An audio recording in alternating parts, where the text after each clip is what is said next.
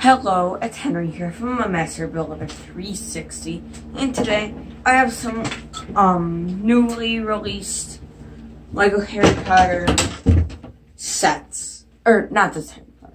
Sorry, I'm so used to doing those videos. Sorry. I am doing some Lego set reviews.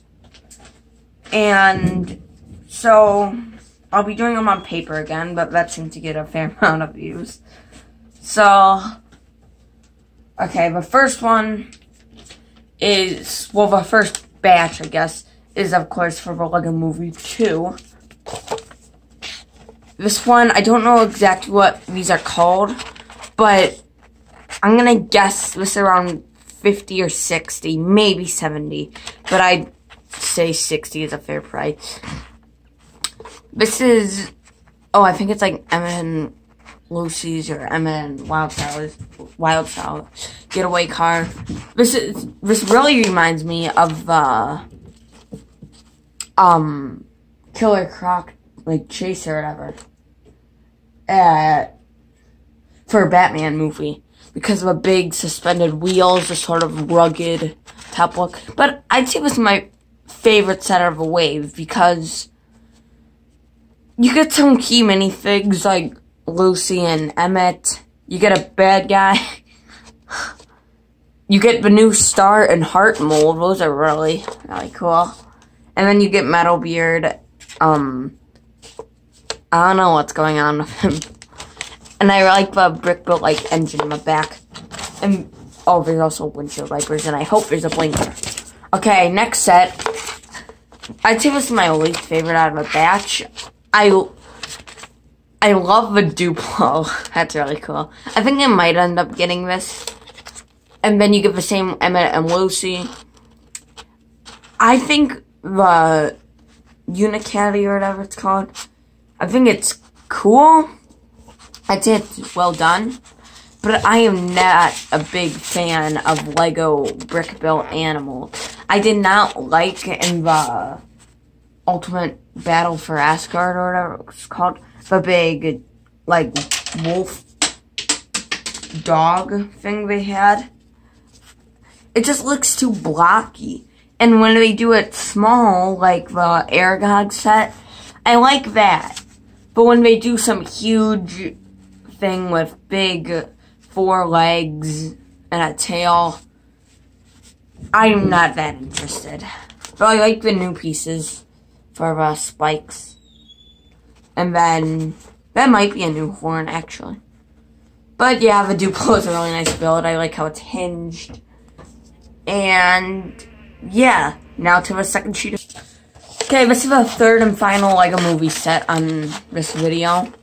This is the, I think, like, Sweet Mayhem's something ship. Which, people say this is going to be $70. I highly, highly doubt that. This looks like a 40 maybe $50 vehicle. Um, yeah, it sort of reminds me of that Guardians. Here, just, just hold on a second. Um, does it not remind you of the Infinity War Guardians ship? I mean, it's got that thing sticking out of the back. It's got a sort of rounded thing with the cockpit. I don't know. Um. Yeah, tell me if you get the connection in the comments. And I love it because it's got, okay, these and Lucy figures I think are to be very, I think you might have just saw that last part, but they're very common in this wave.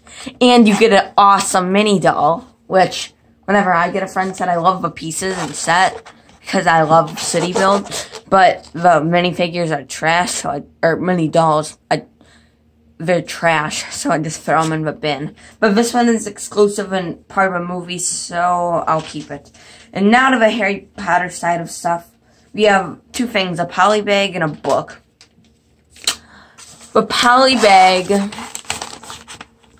I adore it's basically an updated version of a 2010 2011 trolley poly bag, which I don't have. but I have a potions room one.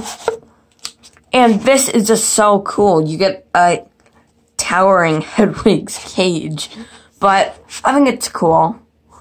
Um, and then you get a Harry, which is 100% not exclusive, but I mean, he's a good figure. And, is, and if you don't have any Harry Potter sets, or you only have one, this is a good set to get. Especially if you want more owls. I don't know when you're gonna get this. Maybe a Target exclusive. But, and then there's this trolley.